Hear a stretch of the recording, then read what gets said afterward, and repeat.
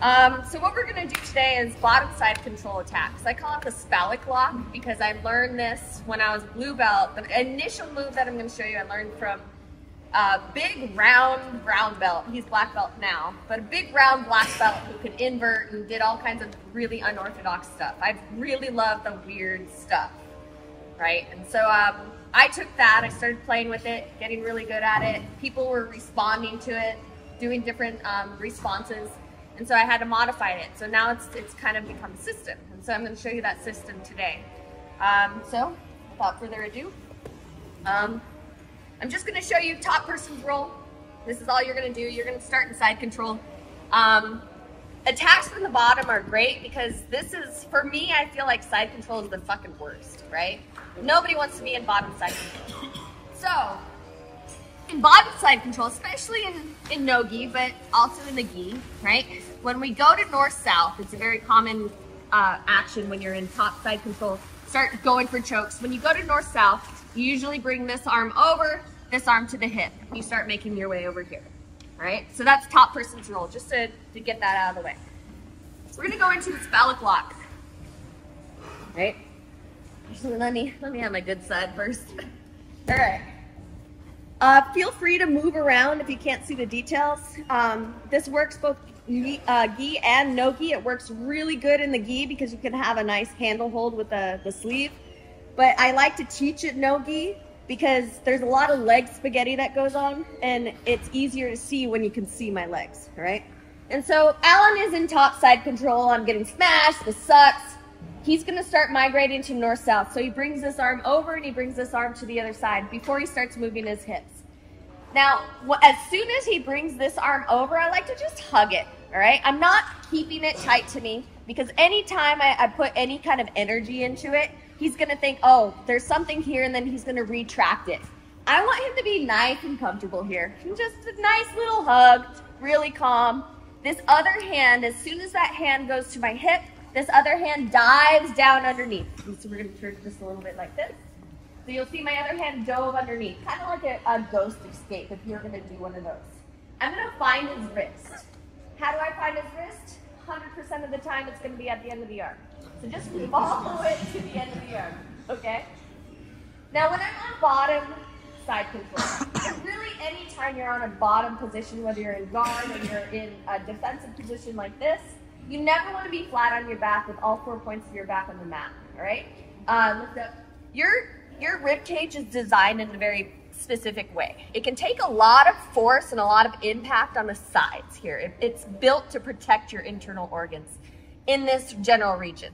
It's weaker here because it allows for the expansion for your breath, all right? So if I'm flat on my back, Alan's able to just really put a lot of pressure here and really constrict my back or my breath. As soon as I get to one hip and one shoulder, I don't even have to be completely perpendicular to the mat, but as soon as I get to one hip and one shoulder, now the sides of my rib cage are taking his weight and taking his force, right? And so keep that in mind. Anytime you're on bottom, uh, bottom anything, right, in jujitsu, we never want to be flat on our back waiting for something to happen. We're always on one side, one side. We're moving through that, that full back position, right? I'm never going to say never, but most of the time, you never want to be on your back, right? so as soon as he goes to that position, right, I cover, I'm turning just a little bit to my side. That's also going to enable you a little bit of space in order to do this leg spaghetti, all right? So the bottom leg, this one, the one that's closest to the mat, is going to bend, and you want your shin right behind the elbow here. As soon as I get in, into the elbow, I'm pulling that wrist towards me. Again, if you have a gi, go ahead and grab the sleeve and really pull it towards you as I'm driving my knee forward. All right, what that does is if he's really tight against the top of my butt, you saw my voice change. As soon as I drive him down my body, this is critical. This is one of the, the troubleshooting uh, points that I, I, often get when I'm teaching this seminar is they for, people forget to drive them down the body. I want them down and closer to my legs. Now what I'm doing with my legs is I'm not straightening, right? I'm not creating a single line. I want to keep my heel to my ass as I throw my knee forward. So I'm creating a straight line from my knee to my shoulder here. Does everybody remember this dance?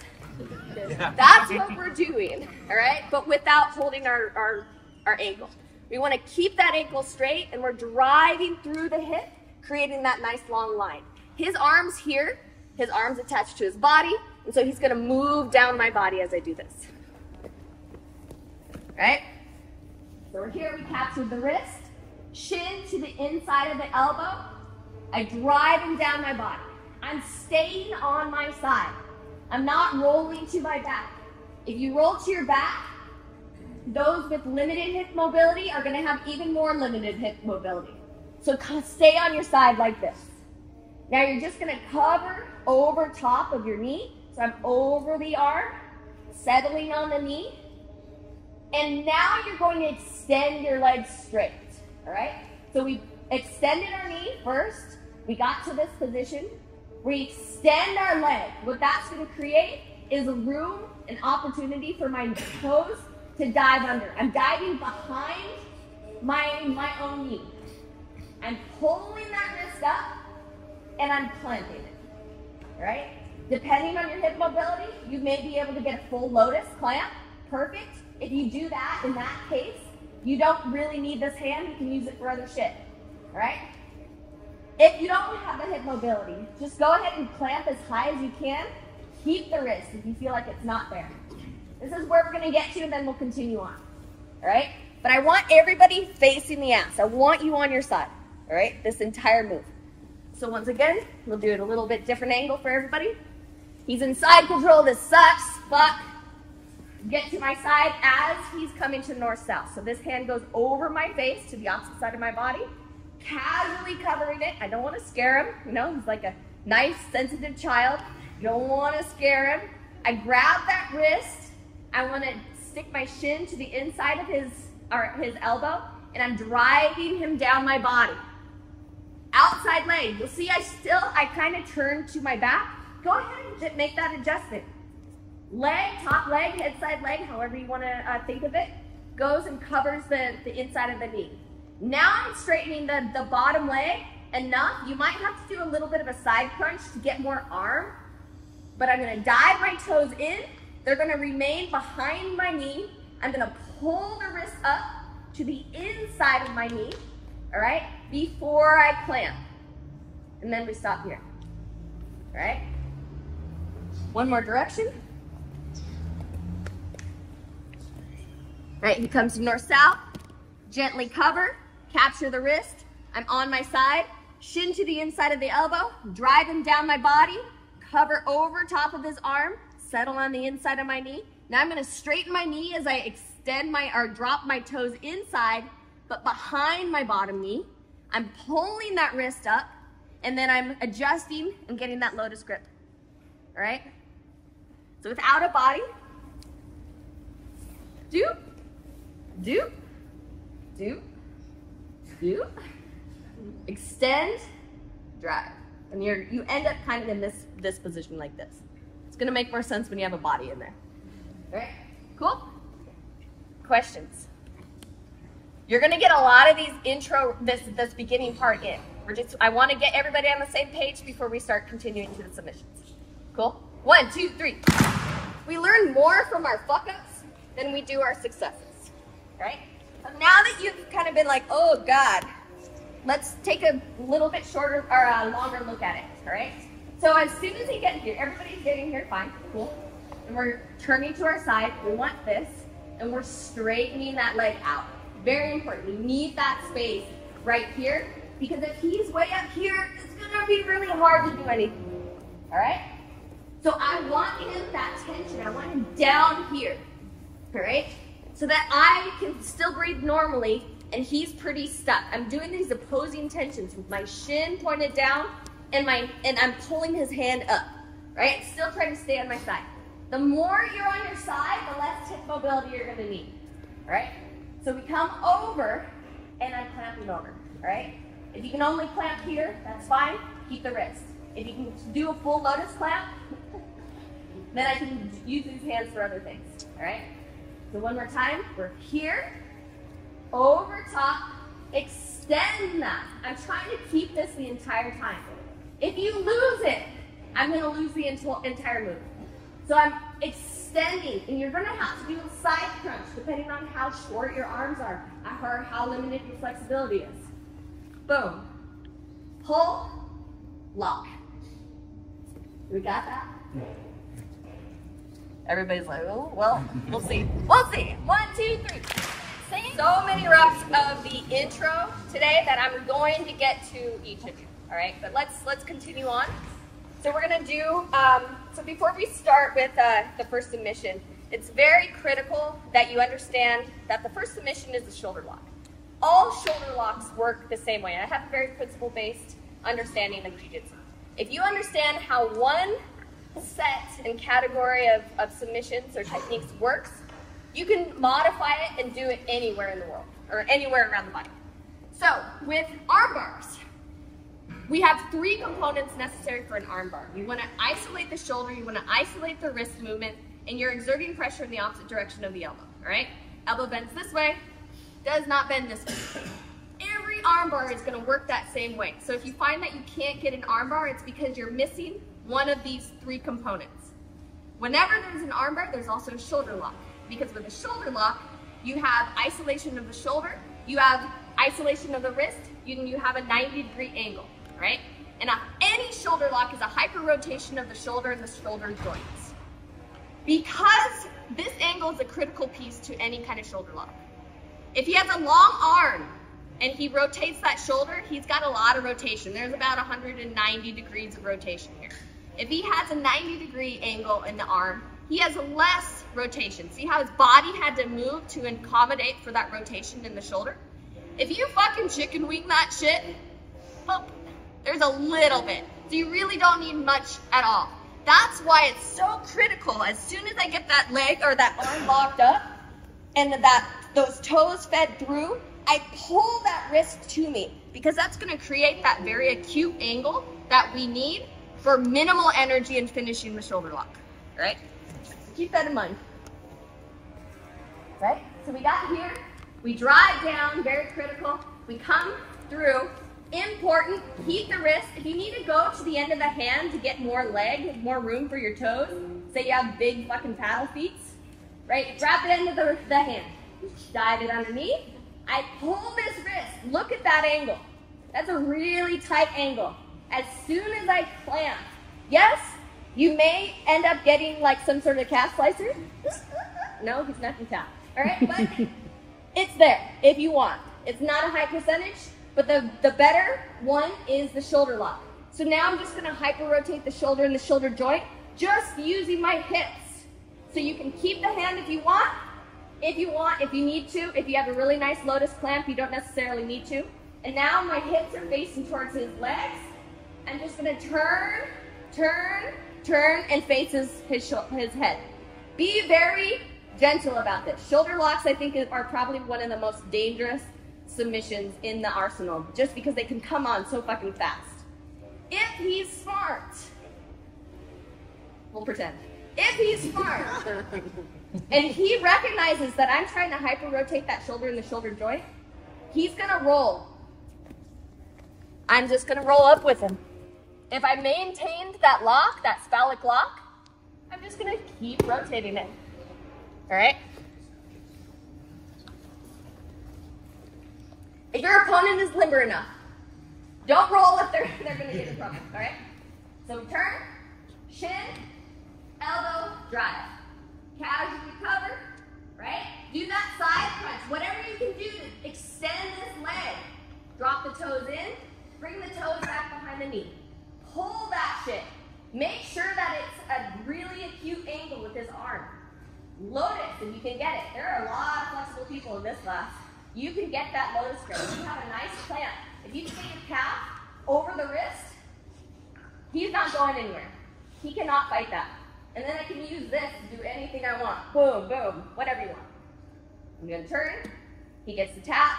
If he's smart and limber enough, he's gonna roll. I'm gonna roll with him. If you lose it, cool. Okay, look where I'm at.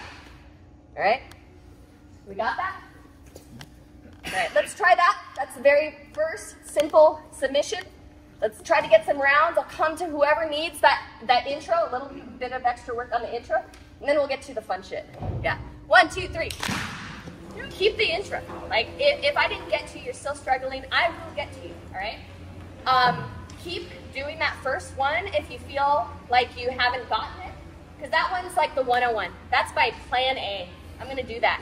But sometimes I do this too often with somebody, and they, they just don't like it.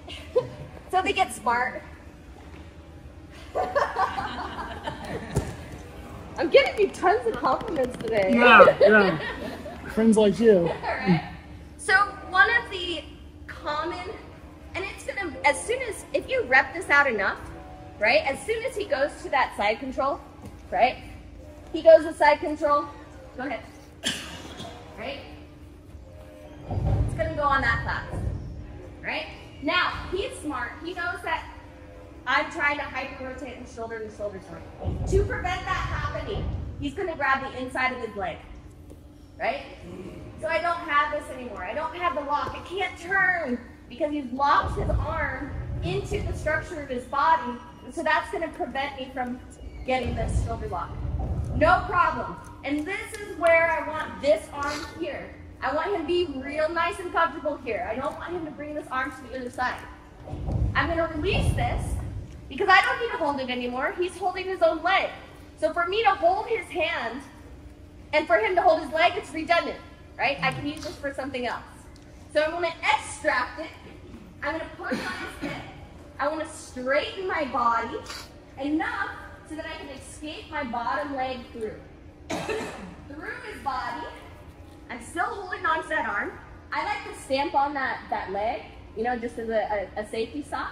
Then I'm releasing his leg, pulling that arm, fucking snapping that on, right? This turns into the tightest fucking triangle. That little pivot. And because I've been dragging his arm with me the entire time, it just slots right where it needs to be. All right?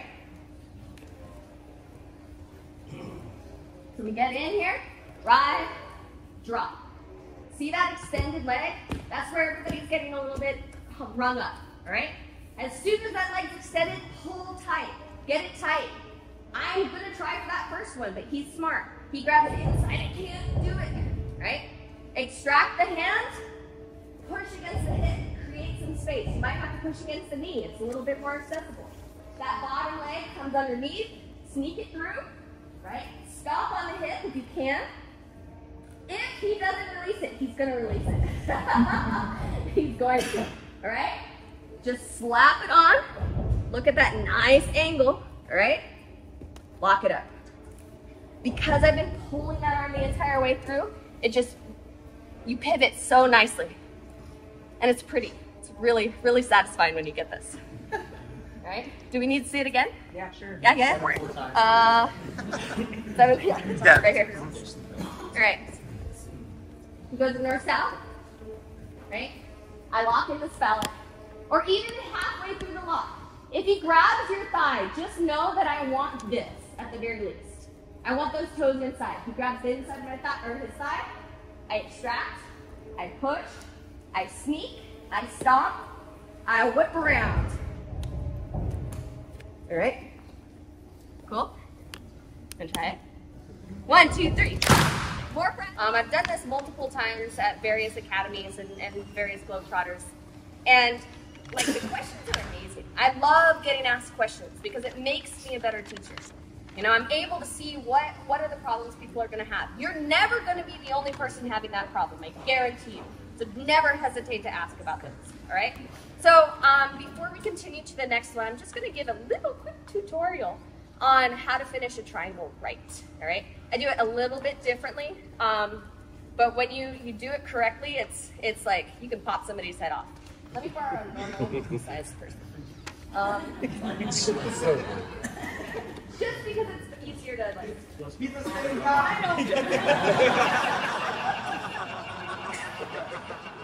Know.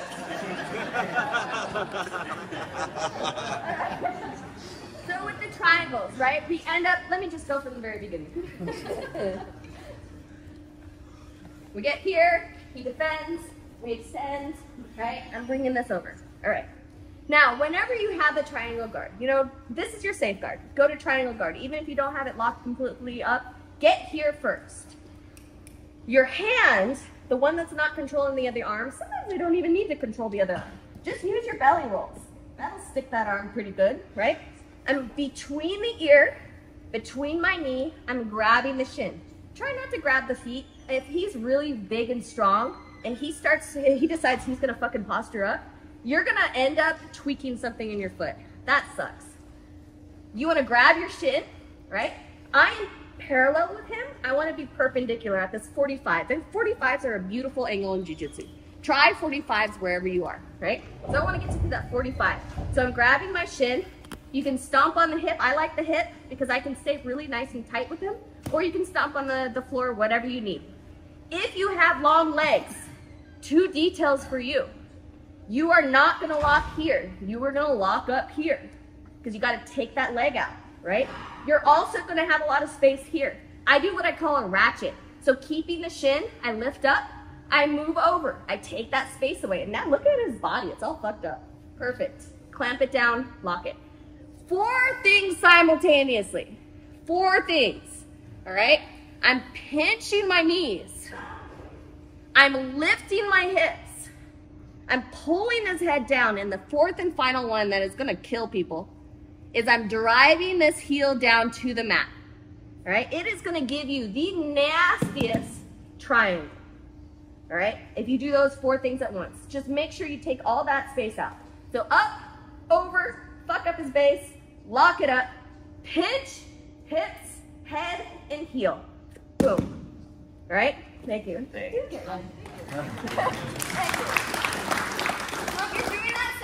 if you want to rep it a little bit more, be very aware of those those details with the triangle. Triangle is like it is for me. It's the most beautiful submission if you do it right. All right. This last bit, and it kind of leads into yesterday's uh, uh, class, right? So he has been armbarred too much, or uh, he's been shoulder locked too much. He knows I have this triangle. As soon as I, I start going here, he's gonna back the fuck out. Perfect. I wanna face plant him, right? Just fucking palm him into the face, or into the mat. I'm palming him into the mat. I'm keeping, that keeps his posture down. Get up to your, your elbow, get up to your hand, swivel your hips.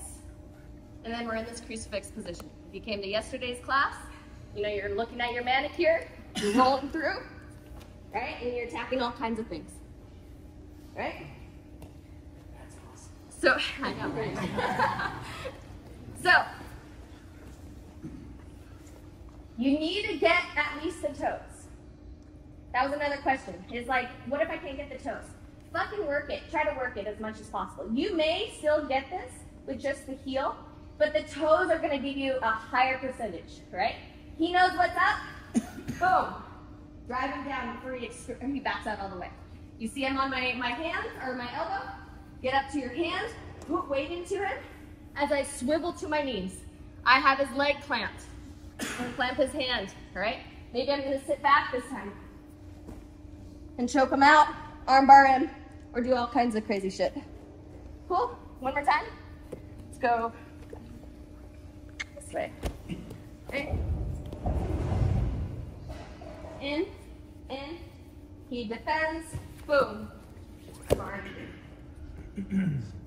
Got it? All right, let's play with it. That's the last one. Um, let's get some reps in, and then we'll bring it back, and I'll do just a quick review on everything we learned. One, two, three.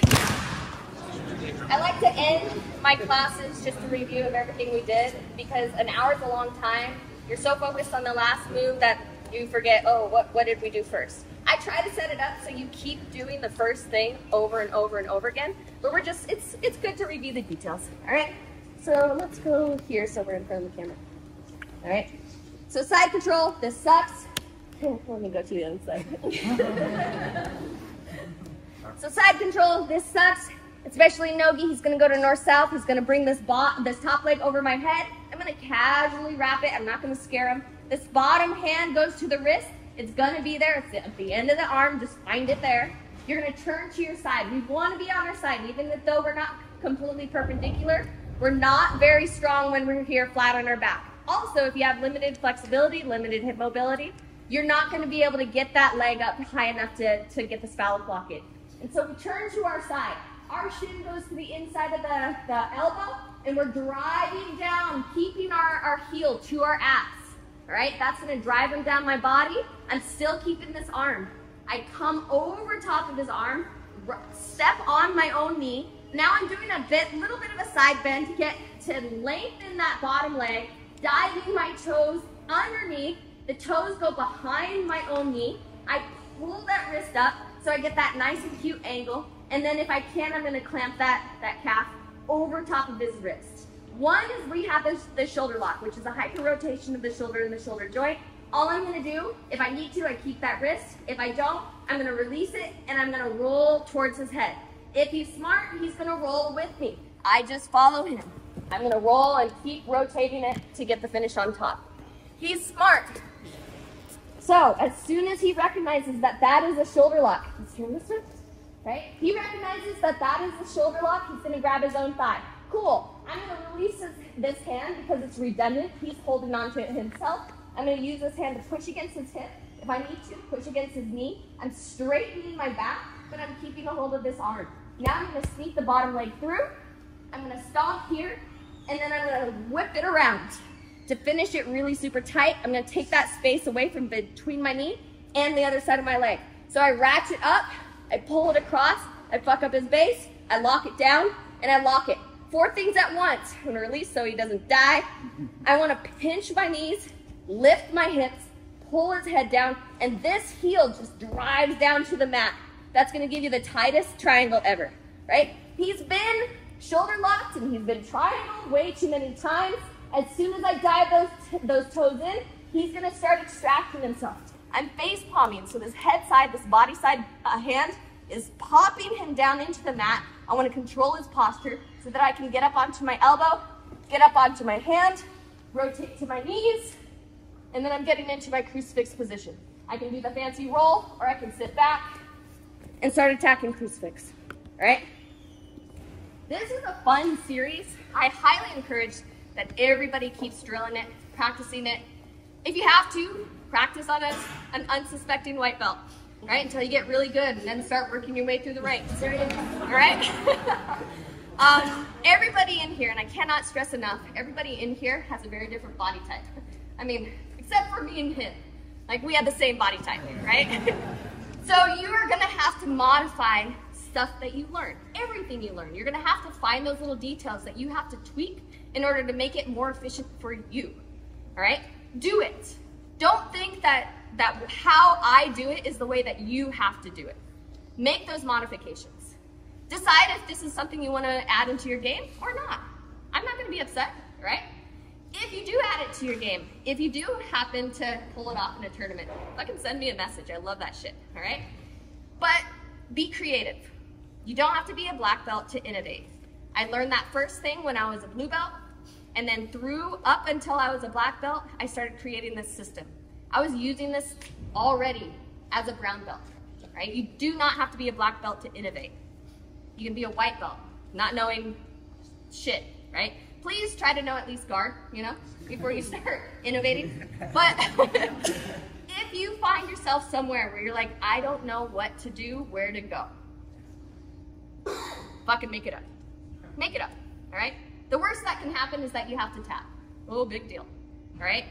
Something is gonna be right until it's wrong. So just try it. You're gonna find out very quickly whether it's right or it's wrong, right?